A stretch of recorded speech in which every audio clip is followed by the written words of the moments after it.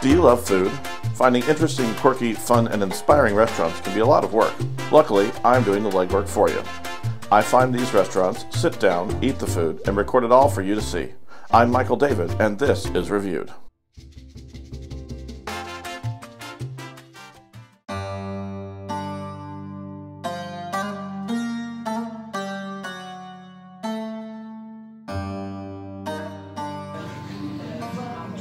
Today I'm trying out asparagus in Merrillville, Indiana.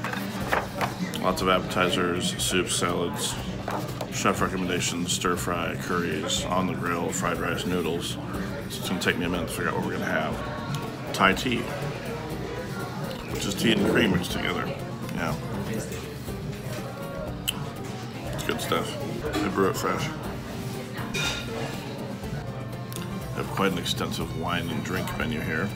We're going to start with the crab and cream cheese crispy rolls, which is a crab meat and cream cheese with carrot, cabbage, and noodles. They better be good because he recommended it. All right, the appetizer has arrived. Looks delicious. I'm gonna have to eat it after I take pictures. I'm trying a sample of their, I don't know, signature sauce here. They sell bottles of it. It's called the Sassy Sweet and Sour Sauce server, waiter. What do you guys prefer to be called? Uh, probably his name, Joe. Five dollars a bottle. Can't beat that. A little soup. I think I said it was a vegetable soup with chicken. What makes it a chicken soup? The soup, after you get about halfway through, is pretty good. All right, the food has arrived. Cutting. Potential.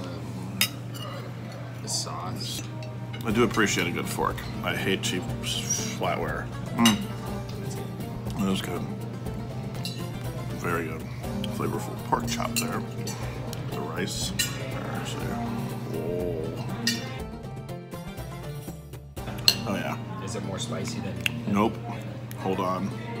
Hold the phone. his, his face gets all red. It is getting a little spicier. There is some spice involved. Took the initial hit a minute to get there.